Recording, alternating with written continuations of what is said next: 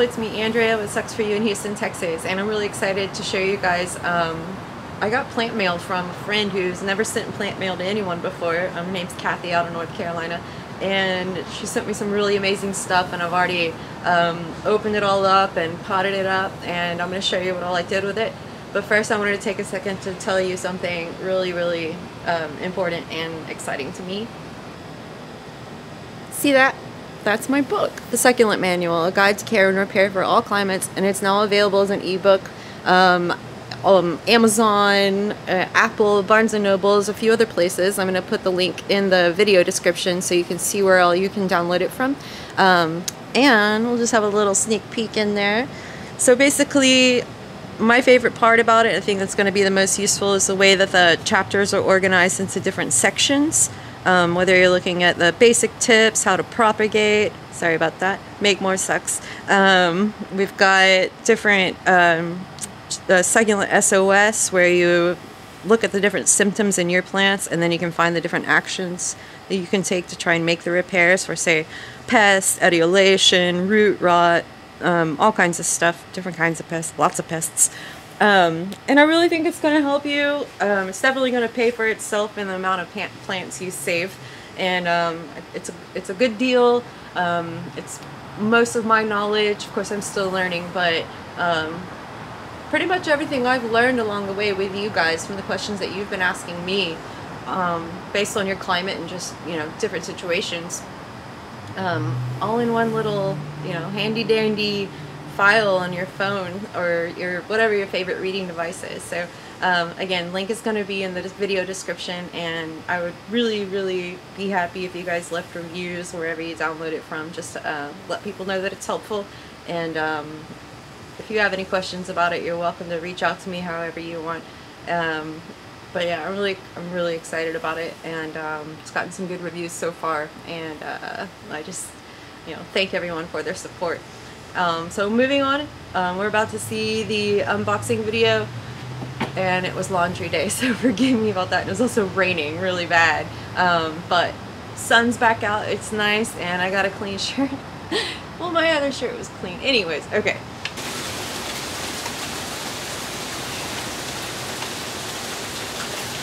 plant mail from Kathy. I'm so excited. I'm about to open it. If the box is wet because it just started raining, pouring down. Poor mailman was soaking wet. On. Everything's gonna be fine. And I'm so excited. Because I'm in here. Oh yeah.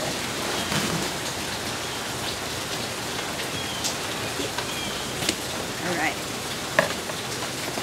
Let me in.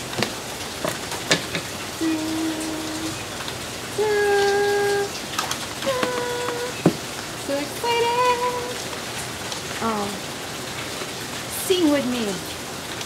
In the queen of the night. oh my gosh. She's... Oh. Okay. Kathy. Wow. This is gonna take a minute, y'all. I didn't, I wasn't expecting all of this. Look.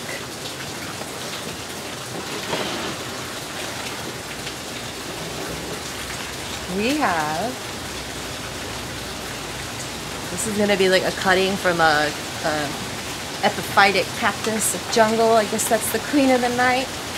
And these are, oh, she, look, she sent me her some beefsteak begonia cuttings. Look, we were joking saying these, these are the Louboutins of plants, just like red on the bottom. Oh my gosh, I can't wait. Okay. Oh, it's gonna be so fun. Who is this? I don't know yet. Hold on. Beefsteak begonia. Not the real name, but what she said. Uh, um, I know this guy and I forgot and I'm so excited. It's so pretty. Not a succulent, but man, I ain't married to succulents. I love all plants. Oh, I'm so excited. Okay. Oh. Have you had oh, some propagation leaves from the area. Yes, I need more. Oh, these look good. Everything looks good, okay? Everything looks happy. Like it was taken care of. in the box on the way here, and you did a really good job packing them. Oh, I'm so excited. I can't, I'm so excited about the begonias. Oh, oh, there's another one. What is this? Cactus seed mix. Oh, this, I was, she told me she was sending me two plants that were on my wish list. And there's so much more. Oh my god. Kathy! These are cuttings from her mom's, um, or, yeah, mom's 20 year old, um, rat tail cactus. You did, you did an amazing job packing this. Uh, what were you trying to tell me you didn't do very well? Oh my god. What is this one? There's some dirt.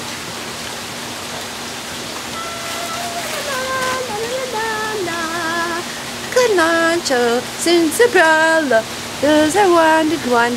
You didn't take the baby. I told you to take the baby. I'm gonna make grow it and send it back to you. Thank you. Oh, the little edges on here are just so fine. And it's gonna be so happy here. I know it, I know it, I know it. And I'm gonna take such good care of it. Promise. Oh. Something in here? There's tape on it, maybe? Yes. What the heck? Oh, it's so cute. Hold on. It's a little aloe blizzard. Look at that. Look at the colors. Wait, focus. It's really dark out and raining, but if you saw this in person, just the detail, it's blurry. It looks like, I don't know, like something computer generated. It's really, really, really cool. Thank you, Kathy. So sweet. From this one. Wait. Something about needing gloves. Stop. Grab some gloves. Oh. I'm not gonna, I'm gonna be real careful. She's so fun. Couple sucks, anybody? If you throw this away, I won't be mad. Because of the spikes on it. Let's see. Look at the chalk. This is so cute. Okay. Hold on. I'll be careful. I know I'll still get, I'm to get poked anyways. I always think I'm going to get away with it this time. I never do. Oh, and there's the fruits. These are, um, oh, we came up, we found the name. What was it? It's in a, uh, opuntia, and it actually grows outside in her uh, North Carolina yard. And even though it freezes sometimes, it comes back and um, blooms yellow flowers. I'm really excited about this. And I believe you, the glochids are punks. And I'm just going to leave it in the cup for now. And there's one more. And says sorry she sucks at packing. Look at this packing job. She made a box to go around the pot. Cut tape on the side. That's fun. Uh,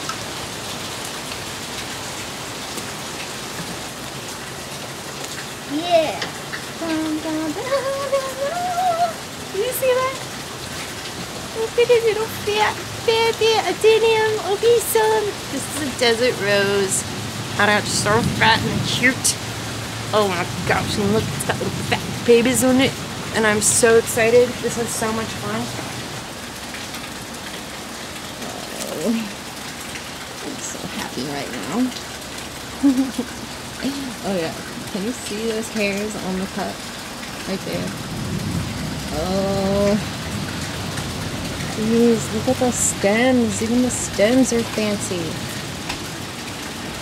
They look like confetti fonts. Huh? Or like lily pads. Oh. Oh, I can't wait. Yes. oh, Kathy. Thank you so much. You're just super, super, super, super, super kind and supportive and hooking it down with the suckies. I was really not expecting this. Thank you. Now, I'm gonna go put these in some water, I think. Definitely put that in some water. Put those in a pot so they'll start rooting and stare with these for a really, really long time. We did such a good job packing them. Really, everything is perfect. Everything looks great. I'm scared of you, but I'm gonna, I'm gonna eat one of those. I will. Thank you, Kathy. Oh, these are going to be so fun. So fun. So sweet. Okay. But I can't stop looking at them. I love you. Okay, gonna go play with them now. Bye. So, two of these plants are the cuttings that she gave me. This is the beefsteak begonia and a Dracaena lemon lime and um, I'll put the, the names and the scientific names in the video description. Um, and this is a cutting of a Pothos Marble Queen that a friend of mine had. This is just an old tequila bottle um, that I saved, and the Pothos is the one that's got all the roots going on. I just put it in there to kind of help lift up the others um, above the water level a little bit more. And once those get roots, I'll pot them up in some you know, more organic soil than I would for succulents, but it's still going to be fast draining. And I am so excited about these guys. They are, let me show you one more time. If you look at them this way, they're green, and you turn them over and they're red. And then they have these amazing little markings. Looks like funfetti or something. I really love it. It reminds me of the the gum that used to have the little cinnamon crystals in it. Um, I know some of you guys know what I'm talking about. Okay, and of course we have my prize. I've wanted one of these for so long, and I finally got one, and then I lost it in our freeze last year. Um, i just still kicking my butt about it, and it, you know some of the leaves are a little bit banged up, but it, I really don't even I don't even notice the imperfections because I'm so excited to finally have one again. And it's got the baby on the side, and it's potted up in a um, this pre World War two Belgian clay pot. You can see like the European style pots didn't have a, a rim. And um, I got some of these from a local nursery. And of course you always take a few and wish you went back and got more. And I did. And I still wish I had more. Um, they were really cheap considering the history. And I love them. Um, this is the Aloe Blizzard. And I put it in a little terracotta pot. There's dirt and then um, topped it you know, fast draining dirt and then topped with some pumice to really like make that plant pop. Okay, and we have the Adenium obesum in a nice, um, a cute little orange pot. And I really, really love this little guy so much. And topped with pumice to just, you know, I love the contrast. Look how nice and pro that looks. Um, these guys, I'm literally just going to stick them in another pot somewhere with another plant until they start getting roots. But I did want to leave them out for, you know, a few days to make sure the ends are dry. And, of course, we have the pads. I haven't done anything with those yet, um, except for rinse them really well. And I sprayed the, the areoles um, with a kind of a high-powered hose to free some of the uh, glochids on there because they, they are really annoying. Um, but it's a beautiful plant so um, and then I'm going to start these seeds soon. I've just been kind of busy with a bunch of other stuff but I'm thinking about them. Um, of course we have the tuna fruit I said I was going to eat and we are going to cut that open in a second and see if it's edible at this time. There's seeds in there so um, something's going to be in there. And this this is my favorite this is the, um, well, my, I don't know if it's my favorite. I'll tell you why. Um, this is the, uh, it's a rat tail cactus, and her mom, um, Kathy's mom, she has a plant for moms that's amazing and it's over 20 years old and she was so sweet to send me some of these cuttings and so um, I just here I'll just show you really quick you just make sure you have the right end um, you can kind of tell. Let's see. So this end is a little pointier and this end was a little bit greener and I lined them all up made sure I had them facing the right direction and then I just, um, just put them in. This is uh, expanded shale. Actually I use the little poker but I'm doing it with uh, one hand so it's a bit harder. Um, this is just some dirt they do like a little bit more organic uh, material because um, you know they're more tropical uh, cactus which is awesome um, for my climate in Houston. So, um, but I did want to give them a chance just to like put on some roots before I, uh, they'll probably be repotted with a mix that has more organic material. So there's dirt in here and you're looking at expanded shale on top. Um, and that's really, it's porous and it's going to help these guys dry out and encourage them to put on more roots. Alright. And that brings us to this guy. We're going to chop that open and see what it looks like inside. It's a tuna fruit from an opuntia. It is edible when they're fully ripe. I don't think that one's fully ripe, but whatever, right? Let's see what's in there. And that's a map of Germany cutboard, cutting board my friend bought me a long time ago. Jessica. I love things from friends. They make them even more special. Okay, ready? We're gonna cut it long ways. Okay, and tuna fruit is really seedy. Um, they make a juice out of some of the varieties and it's really delicious and especially in uh, like margaritas. Um, and okay, gonna give it the taste. Mm. Mm. It's really good. Mm. I wasn't expecting it to actually have this much flavor. Um, but the seeds are, I mean, they're like inedible, sorry. um, you want to see something? I just, there. So they're like that big, but I can plant them and they will make no cactus. Isn't that fun? So I sent her some aloes from my mom's um, really old plant and I think it's really amazing to have some of her mom's really old a rat tail cactus. And um, again, I just stuck the little cuttings down in there. The shale is heavier than uh, just regular dirt, so it doesn't need to be wet. Um, the, the, the, shale will help hold everything in place until they root better. Um, and just, you know, I'm always encouraging people to try and send each other plant mail. Just pick a friend and say, I'm going to send you something. Um, if you want to see how it's done, um, maybe you know order something from a local seller online. Um, I have links to some uh, places. Where do I have those links? Well, I'll put them in the video description below of, of a place that I've ordered from that does you know packs everything really well. But uh, again, this was her first time and she did amazing. And um, just use your imagination.